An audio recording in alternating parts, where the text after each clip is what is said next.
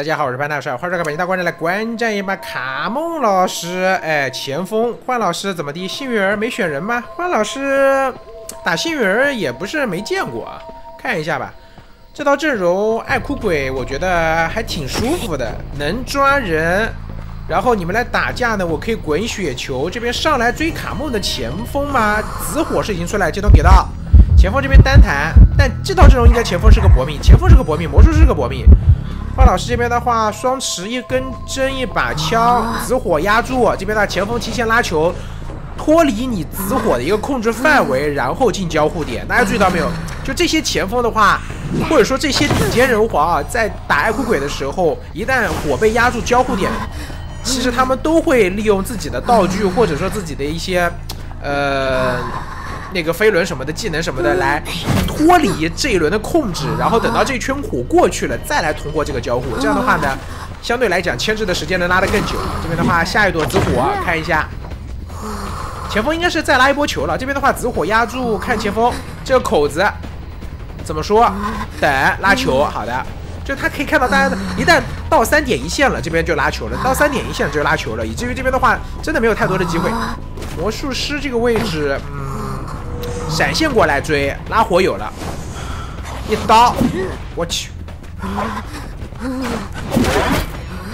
那好像这局感觉有点崩啊，要修掉三台，要修掉三台，因为他追的是一个整套阵容当中修机最慢的一个人，现在再换抓，找这边的邮差。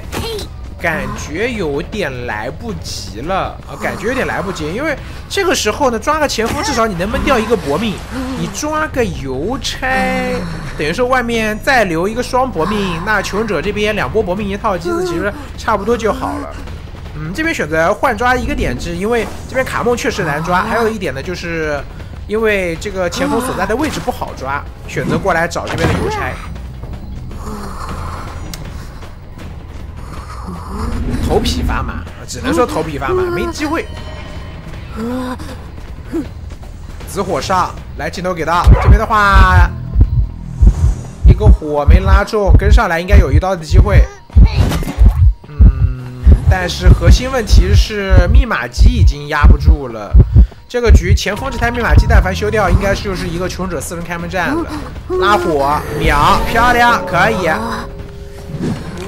但前锋的机子拦不住我，前锋这边就是对于前锋来讲，现在要做的是什么呢？就是我卡半把人救下来就可以了。香水回，再补你一刀，再补一刀的话，这个人能不能挂得上啊？打了两刀，前锋这边马机点掉，其实前锋都可以走。我大不了不跟你玩了吧？我走了。这里的话要把前锋留下，这个前锋得留，漂亮。机子是修掉了，那这样的话，魔术师过来救人，幸运儿机子补掉以后去补魔术师机的的机子，够了，怎么救？魔术师救前锋，前锋搏命套搏命，好吧，拉火拉住，爱哭鬼这边位置上面没有能排到，那这样的话再补一刀，这边把前锋捞下来。呃，魔术师这边是要倒地的，又有火，能不能把这边的前锋给秒了？两连紫火在这边无限旋转，漂亮！好的，前锋二挂邮差这里可以选择去补机子，让这边的幸运儿来救最后一波人。这轮打完以后还是一个四人开门战，哦，还是一个四人开门战。爱哭鬼这边的话，他得怎么样？他得打一个求者救不下人来才行。华老师来把华老师这边秒了才行。这里。能秒掉吗？有没有火？邮差这边机子七十八，还要拖一拖。有把枪，但是这边底牌可以切金身，拉火没能拉到，没有拉到，没办法了，没有拉到没办法了，四人开门战了。这里带的还是个搏命啊，搏命幸运。前锋是个上挂飞，是个白板。爱哭鬼的话，似乎有机会能保平。能量吗？能量，直接亮了。这里应该是快走，密码机点亮，四人全满状态。前锋进二楼，不愿意抓，不愿意抓的话，这边魔术师是个没上挂，且有分身。然后这边幸运儿手里捏着一把枪，拉火加速，金身顶不顶？不顶，逼掉枪，那回身过来抓魔术师。邮差这边贴门，魔术师这两个分身可以玩好久，可以玩好久。这局感觉其实打到，呃，这局爱哭鬼只有两个，他其实是打得很好的。这边的话，我觉得是，我觉得其实卡梦在那波强行点密码机上面选择上面是亏的。他当时如果能提前拉开，不吃这两刀，我觉得这局求生者会。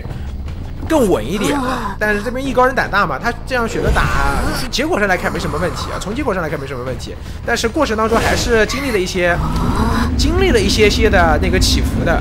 然后爱哭鬼的话呢，第一波机会是魔术师那波有可能会救不下人来，就他第一轮如果位置判断对的话，有可能魔术救不下来了，那就直接赢了。还有一波机会呢，就是房住这边的坏老师的救人，两波的话。机会是有，但是可能性都不是特别高，所以说我觉得爱酷也尽力了。感谢朋友们，谢谢，拜拜。